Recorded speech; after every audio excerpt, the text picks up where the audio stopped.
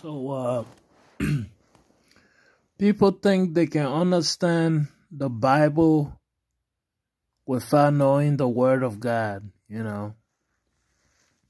And uh, you cannot understand the Bible, you cannot understand any book, anything, without knowing the words of God, okay? Now, when you know the words of God, that's when you understand. That's when you can see, you know, that's when you can see the lies among, you know, the lies among the truth, you know? And, um, yeah.